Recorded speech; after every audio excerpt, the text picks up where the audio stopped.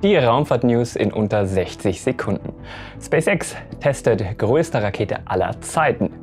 Astra Space stampft Rocket 3 ein. NASA baut größtes Radioteleskop aller Zeiten. Die deutsche Firma Mynaric wird von der US-Regierung ausgewählt. SpaceX verliert Subventionen durch FCC und schießt im zweiten Quartal doppelt so viel in den Orbit wie der Rest der Welt zusammen. Das und noch viel mehr mit allen Hintergründen klären wir heute in den Raumfahrt-News. Ich bin der Mo von Senkrechtstarter und wenn dir Raumfahrt-News gefallen, Like da lassen und abonnieren nicht vergessen, damit du die spannenden Entwicklungen in der Raumfahrt nicht länger verpasst. Fangen wir mit den Starts der vergangenen Woche an. Am Sonntag, den 7. August um 5.48 Uhr MESZ hat die indische Raumfahrtagentur ISRO ihr Sun Synchronous Launch Vehicle gestartet. An Bord war der Microsat 2A. Leider ist der Start dieser neuen indischen Rakete fehlgeschlagen. Die Hypergole Kickstage, die vierte Stufe der sonst auf Feststoffen basierenden Rakete, versagte vermutlich bei der Zündung. Im Livestream konnten wir jedenfalls sehen, dass das Triebwerk direkt nach der Zündung abschaltete. Indische Raumfahrt finde ich super spannend, weil die mit einem winzigen Budget krasse Sachen machen. Freut euch schon mal auf die nächste Episode. Da geht es dann um die indische Raumfahrt. Am Dienstag, den 9. August, ist um 6.11 Uhr MES-Set von Jinquan in China das chinesische Raketenstartup Galactic Energy gestartet. An Bord waren zwei Taijin-Satelliten und ein Nanosatellit. Die eingesetzte Rakete war die Ceres 1, die so ihren dritten erfolgreichen Flug absolviert hat. Die Feststoffrakete wiegt etwa 30 Tonnen, ist 19 Meter hoch und hat einen Hauptdurchmesser von 1,4 Metern. Sie ist in der Lage, etwa 350 Kilogramm Nutzlast in einen niedrigen Erdorbit zu befördern. Auch am Dienstag, den 9. August, ist von Baikonur eine Soyuz 2.1b mit Fregatt Oberstufe abgehoben. An Bord war ein Spionagesatellit für den Iran. Der Start war um 7.52 Uhr MESZ. In der Nacht von Dienstag auf Mittwoch hat SpaceX um 4.14 Uhr MESZ eine Falcon 9 gestartet vom Kennedy Space Center am Cape Canaveral in Florida. Es war der 35 30. SpaceX-Start für dieses Jahr und an Bord der Falcon 9 waren 52 Starlink-Internetsatelliten mit einem Gesamtgewicht von über 16 Tonnen. Am Mittwoch, den 10. August, ist von Taichuan eine Langer Marsch 6 gestartet. An Bord waren 16 neue Erdbeobachtungssatelliten für die kommerzielle Jilin-Konstellation im sonnensynchronen Orbit. Startzeit war 6.50 Uhr MESZ. Am Freitag, den 12. August um 23.40 Uhr MESZ ist eine weitere Falcon 9 von SpaceX gestartet. Das war der 36. SpaceX-Start des Jahres, was ein neuer Rekord für SpaceX ist. An Bord der Falcon 9 waren Starlink-Internetsatelliten und mit der 62. erfolgreichen Landung eines Boosters am Stück ist es auch ein neuer Rekord für SpaceX. Startplatz war die Westküste mit der Vandenberg Space Force Base. Eine sehr verblüffende Neuigkeit. Astra Space stampft seine Rocket 3 ein. Genau, das war der Horizontalstarter. Dieser Horizontalstart, mit dem sich Astra in das Gedächtnis der Community gebrannt hat, ist jetzt auch schon ein Jahr her und in den vier Starts danach sind nur zwei Raketen erfolgreich in den Orbit gekommen. Bei der Investoren-Telekonferenz des börsennotierten Unternehmens wurde von dem Vorstandsvorsitzenden von Astra, das ist Chris Kemp, die Einstellung der Rocket 3 und Fokussierung auf die Rocket 4 bekannt gegeben. Rocket 4 hatte nicht gesagt, es gab auch einen Namenswechsel. Das neue Startsystem mit der doppelten Nutzlastkapazität der Rocket 3 wird ab jetzt Rocket 2.0 heißen. Aus Marketing-Sicht sicher eine gute Entscheidung. Über diese neue Rakete hatte ich ja schon berichtet und mit 600 Kilogramm Nutzlast in einem niedrigen Erdorbit ist sie dann doch ein ausgewachsener Microlauncher. Im Internet macht gerade die Runde, dass die Einstellung des Rocket 3 Programms für die NASA unvorbereitet kam. Einer der fehlgeschlagenen Starts hatte ja zwei NASA Tropics CubeSats an Bord. Die sollten eigentlich durch Astra bei zwei weiteren Starts um jeweils zwei Satelliten ergänzt werden, auf insgesamt dann acht, was dann wohl nicht mehr zeitnah passieren wird. Denn die Rocket 3, die wird ja nicht mehr fliegen und die Rocket 2.0, ja, die ist ja noch am Anfang der Entwicklung. Es ist Aufbruchstimmung im New Space, aber für die Startanbieter mit der komplexen Technik und den durch SpaceX massiv gesenkten Preisen ist es ein sehr schwieriges Geschäft. Wie hat Eric Berger von Ars Technica so schön gesagt, in Orbit kommen ist schwer, ein Geschäft daraus zu machen ist wohl noch schwerer. Auf einem Vortrag im Rahmen der Small Satellite Conference sagte Carlos Niederstrasser von Northrop Grumman laut spacenews.com, es gibt aktuell 166 Kleinträgerprojekte mit Nutzlasten bis zu 1000 Kilogramm. Demgegenüber stehen aktuell, wenn man die Rocket 3 als nicht mehr einsatzbereit jetzt rausnimmt, elf betriebsbereite Träger wie Minotaur One, Pegasus XL von Northrop Grumman, Electron von Rocket Lab, Launcher One von Virgin Orbit und sechs chinesische Fahrzeuge. Grundidee für viele Kleinträger ist auch die steigende Anzahl an Megakonstellationen relativ preisgünstig mit Ersatzsatelliten versorgen zu können, wenn einzelne Satelliten ausfallen. Aber auch für die eigenständig gestarteten Satelliten gibt es definitiv Bedarf. Aber da müssen wir uns auch nichts vormachen. Das wird nicht alle dieser 160 Träger am Leben halten. Ihr könnt euch vielleicht daran erinnern, dass Peter Beck, der Geschäftsführer von Rocket Lab, gesagt hat, dass die Elektron-Fertigung auf einen Start pro Woche ausgelegt ist. Die Elektron ist eine tolle Rakete und man kann klar die Professionalisierung sehen, aber trotzdem ist sie bisher nur 20 Mal geflogen. Und die aktuelle Startrate ist, wie Peter Beck in einem Interview mit Ars Technica sagte, 100% durch den Markt bestimmt. Das heißt, man ist grundsätzlich in der Lage, deutlich öfter zu starten, aber das wird vom Markt aktuell nicht nachgefragt. Statt der wöchentlichen Starts mit 52 Starts dann im Jahr, würden es vielleicht eher auf 10, 15 Starts pro Jahr hinauslaufen. Der erste von sechs Satelliten, die ab 2024 für die NASA das mit Abstand größte Weltraumteleskop bilden sollen, ist fertig.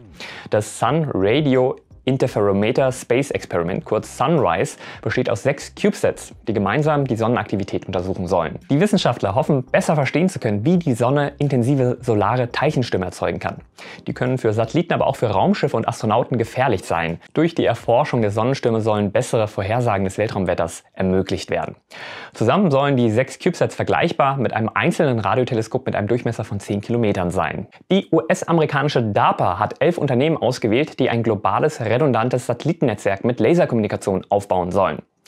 Das klingt für dich jetzt vielleicht nach Starlink, aber das Projekt hat einen anderen Fokus. Es soll eine nahtlose Kommunikation zwischen mehreren Betreibern und zwischen kommerziellen und militärischen und staatlichen Satelliten ermöglichen. So sind unter den ausgewählten Firmen Satellitenbetreiber wie Starlink, Telesat, Spacelink und Viasat und Amazon Skyper, aber auch Kommunikationsspezialisten wie die deutsche Firma Mynaric. Sowohl meine Episode über meinen Besuch bei Mynaric als auch mein Interview mit Mynaric Geschäftsführer und ehemaligen SpaceX-Ingenieur Bülent Altern, ja, das lege ich euch beides wärmstens ans Herz. Gerade die Frühphase von SpaceX, von der Bülent so plastisch erzählen kann, die ist super spannend. Das bringt uns zu SpaceX. Wenn die Zahlen von Bryce Tech stimmen, das ist bei Regierungsnutzlasten ja manchmal ein bisschen schwierig, aber der Trend, der wird stimmen, hat SpaceX übrigens im zweiten Quartal fast 160 Tonnen in den Orbit geschossen. Das ist doppelt so viel wie der Rest der Welt zusammen. Wenn dich das Thema Weltraumschrott und Kessler-Effekt mehr interessieren, auch dazu habe ich ein Video für dich. SpaceX wird keine staatliche Förderung in den USA für seinen Starlink-Service bekommen. Wie die FCC mitteilte, wird SpaceX die beantragten fast 900 Millionen US-Dollar an Subventionen für seinen Starlink-Breitbanddienst nicht bekommen. Die FCC, Federal Communication Commission, die auch für die Vergabe von Satellitenlizenzen zuständig ist, erklärte am 10. August, Starlink habe nicht nachweisen können, dass es die Anforderungen für die Freigabe der Subventionen erfüllen kann. Soweit ich weiß, hat sich SpaceX dazu aber noch nicht weiter geäußert. Aber die Woche der SpaceX News stand natürlich komplett unter dem Motto Boca Chica. Und dabei sah es erst nach einer Woche der Pleiten, Pech und Pannen aus. Aber man soll ja den Tag nicht vor dem Abend verloren geben oder so ähnlich. Kurz nachdem Elon Musk am 6. August ein Video von Booster 7 noch in der High Bay gepostet hatte, wurde Booster 7 zum Startplatz befördert. Dort angekommen sollte Booster 7 dann wieder auf den Starttisch gehoben werden. Wir erinnern uns, als er da das letzte Mal für die Tests der Turbopumpen stand, lief nicht so alles ganz nach Plan. Und auch diesmal schien die Testkampagne unter keinem guten Stern zu stehen. Los ging es dann nämlich, wie gesagt, mit einer Panne. Am 6. August schrieb Elon Musk, dass er den Geruch von Hydrauliköl am Morgen lieben würde.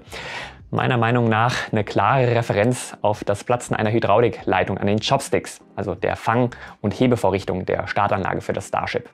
Wenn dich das Thema mehr interessiert, hier nochmal mein Hinweis auf mein Video, das erklärt, wie SpaceX den Booster nach erfolgreichem Flug in der Luft beim Landen fangen möchte. Das verlinke ich dir hier. Aber zurück zu Booster 7, der trotz mehrerer Pannen in den letzten Monaten mit Starship 24 weiter unser Kandidat für den ersten Orbitalflug des Starships zu sein scheint. Und tatsächlich in der Nacht von Dienstag auf Mittwoch wurde sowohl Booster 7 als auch Ship 24 für Tests vorbereitet. Auch hier sieht man meiner Meinung nach die Denke bei SpaceX. Ja, wir müssen die Anlage und die Umgebung für Tests räumen. Okay, dann lass uns so viele Tests wie möglich parallel machen. Und tatsächlich wurden sowohl Booster 7 als auch Starship 24 einer Feuertaufe unterzogen. An Booster 7 feuerte ein einzelnes Raptor-Triebwerk, während an Ship 24 gleich zwei Raptor getestet wurden. Wie erfolgreich die Tests waren, das weiß SpaceX wahrscheinlich nur alleine, aber ich für meinen Teil, ich denke mir immer bei SpaceX-Tests, naja, wenn nichts explodiert, dann war es erfolgreich. Ein weiteres Indiz dafür, dass man im Starship-Testprogramm wieder auf Spur ist, war der nächste Test. Am Donnerstag, den 11. August, wurde Booster 7 erneut getestet. Diesmal deutlich länger. Ganze 20 Sekunden soll das Raptor-Triebwerk gefeuert worden sein. Als Hauptziel schrieb Elon Musk bei Twitter das Tankbedrückungssystem. Das SpaceX Raptor-Triebwerk im Full Flow Staged Combustion Cycle ist ein ingenieurstechnisches Meisterwerk und das bisher einzige seiner Art, das geflogen ist, wenn auch nicht in den Orbit bisher. Wenn dich das Raptor und sein Antriebszyklus mehr interessiert und warum SpaceX mit dem Raptor über das aktuell fortschrittlichste Raketentriebwerk verfügt, was fliegt, wie gesagt, das erkläre ich in meinem Video zu dem Thema. Aber zurück zu dem, was laut Elon Musk getestet werden soll. Die autogene Druckbeaufschlagung der riesigen Boostertanks, die erfolgt durch das Erhitzen der Betriebsstoffe im Triebwerk und das dann in einem eigenen Kreislauf für den jeweiligen Stoff. Macht, glaube ich, auch Sinn, dass man den Methantank nicht unbedingt mit heißem Sauerstoff drücken sollte. Obwohl es bestimmt spektakulär aussehen würde. Wenn ich die Tweets von Elon Musk weiter richtig deute, dann ist in der aktuellen Testkampagne von Booster 7 der äußere Ring mit 20 Raptoren im Fokus. Hoffentlich gibt es dann auch einen Test mit 21 Raptoren. Das würde uns vermutlich dann auch ein gutes Gefühl dafür geben, wie laut und wie zerstörerisch so ein Starship-Start werden könnte. Ich bin optimistisch wie nie, dass das Starship-Programm auf einem sehr, sehr guten Weg ist. Von einem Raptor-Test zu 33 Raptoren ist es natürlich noch etwas hin. Aber wenn mein Gefühl stimmt, dass die Testkampagne jetzt wieder planmäßig verläuft, dann erwartet uns ein sehr geiler, feuriger Sommer. Die Zeitfehleinschätzungen von Elon Musk sind ja mittlerweile sprichwörtlich und so führe ich sie hier nur der Vollständigkeit halber an. Auf die Frage, wann mit einem erfolgreichen Starship-Orbitalflug gerechnet werden kann, sagte Elon Musk auf Twitter ein bis zwölf Monate. Was dann definitiv vorher passieren wird, das sind die Starts der kommenden Woche. Soweit ich das überblicke, wird es mit einem Start eine ruhige Woche. Am frühen Dienstagmorgen, den 16. August, soll um 2 Uhr MESZ eine Falcon 9 mit Starlink Internetsatelliten starten. Startplatz ist mit Cape Canaveral die Ostküste der USA.